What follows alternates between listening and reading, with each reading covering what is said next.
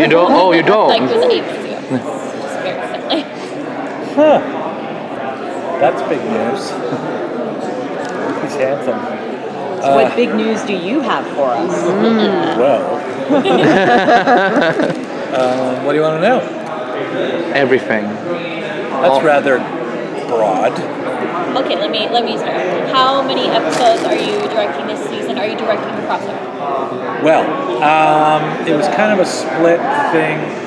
It was it was a difficult decision. Um, I've directed the last you know three or four. Remember, I'm now. Um, but this year I'm directing 801, the, the premiere. I'm directing 809, um, and I'm directing the series finale 810. The crossover is 808, and that'll be directed by Glenn Winter. So I couldn't do, I just couldn't do both. It was just physically impossible. Um, and it was a toss up between that and that. But the, the series finale is, uh, I'd actually rather be doing that. Has there been anything that you've really wanted to do that now you're like, oh, this is our final season, you know, we've got to do it? A fight sequence or something? Or Always. And I, there's laundry lists of stuff. Um, and every season, I go back to that list and I go, okay, I wanted to do this, this, this, um, or I did it. I was telling um, those folks in that direction, we only have a 42 minute broadcast time, whereas like Daredevil, they, they have a full hour. They can do a 10 minute one or, You know, I can't because there has to be the rest of the episode, and it'll get chopped in, into bits, and we can't risk that. So we have to be very precise and surgical with with how we deliver our action, for instance. So whenever we do something that we're really proud of, and then because broadcast time sometimes it gets cut, you know, later, it's very disappointing. So whenever something that is spectacular that we really love gets cut, I always write it down and go, I'm coming back to this. I'm putting, I'm putting this in, no matter what. So I'm continually doing that. I'm, I'm always like, what haven't I done? What haven't I done? Let's try not to outdo ourselves. And I've, you know, I've got literally a list on my phone of um, this, this, this, that, this, that. maybe at the end we can have all of the cool cut scenes all just put together. Yes. Uh, well, I, yeah, that's something else we're discussing over there was putting together um, a director's cut of all like all my episodes that that I directed. I wanted to let, I wanted the fans to see um, you know what that would look like. Like the, quite often, I said 42 minute broadcast time. Quite often, the episodes when their their director's cut is delivered are like 10 minutes overtime sometimes 15 minutes overtime, sometimes six minutes overtime, but there's a lot that happens in 10 minutes. Television series that you don't get to see, and there's a lot of really, really cool moments and, and uh, visuals um, and emotional uh, stuff, scenes that have just never been seen by the public eye that I love for everyone to see.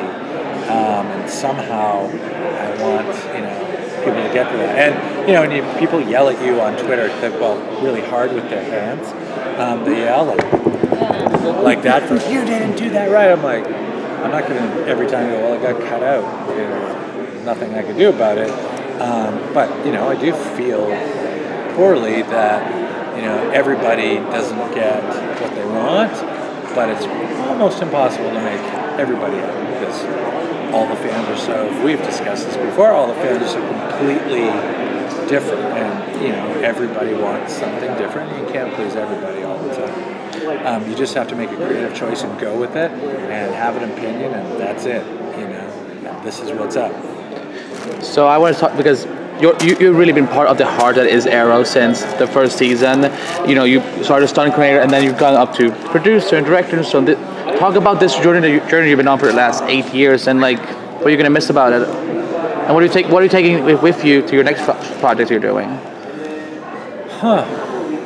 Perseverance, uh, I would say, is what I'd be taking with me. Um, I started very, you know, I came on, I was doing a movie in Cuba, got a phone call, hey, uh, what would you do if, uh, if uh, you had a character that was a CIA agent, he was kind of like James Bond, and he was an Olympic level athlete, and he was a world class martial artist, and he could do parkour, like, blah, blah, blah. how would you train him? And. I was like, oh, I do this. Anyway, and I, they said, where are you? I said, I'm in Cuba right now. And they're like, oh, well, talk. Give me a call when you get back. Okay. Hi, how's it going? Hey, can you come down here right now? Next thing you know, I'm teaching Stephen martial arts and uh, uh, training him for the pilot. And they were like, oh, we can't have a fight choreographer on staff. And then David Nutter goes, we have to find a way to pay you. Let's put you in a scene. We'll break your neck and uh, blah, blah, blah. And I'm like, okay, whatever. So I got a cre- the credit as that guy. The first one he killed, basically. Yes, the, the first one he kills. You can't know my secret, um, and that's me. And then um, uh, stayed on as a fight choreographer. The, the original plan was to alternate fight choreographers, and then I started shooting. Uh, I went to Greg in season two, and I was ta- always talking to Mark about directing. Went to Greg in season two, and he's like, "Okay, you want to direct? Uh, I really love what you've done and your contribution to the show. Give you an opportunity in season four. And Greg Berlanti is a man of honor and a man of his word. And next thing you know, uh, I was. Um, and then they loved that first episode, and then they gave me another one. And, you know, the rest, as far as the uh, producer uh, uh, situation happened,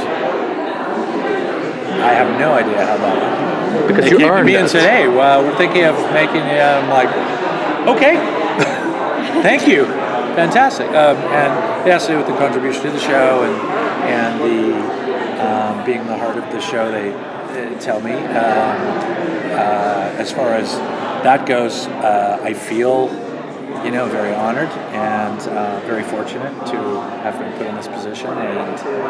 Um, I've never taken where I am for granted, whether it have been like a stuntman, I was David Duchovny's stunt double back on X Files, and to this day now, like every day, no matter what I'm doing, I'm pinching myself, going, "Wake up! Oh no, I'm not waking. Oh, okay, I guess this is real." And it's I'm just very, very fortunate, and I know it. So um, I try to live every day knowing that and being grateful, and that's all I can be. And we are grateful for you. Thank you. Thank you. Thank you. Another one. I'll, I'll get you a Red Bull if you come in. Oh, please. I'm gonna bribe you. Oh, if oh, if yeah. You're almost Drop the mic. No, I won't. Thank you.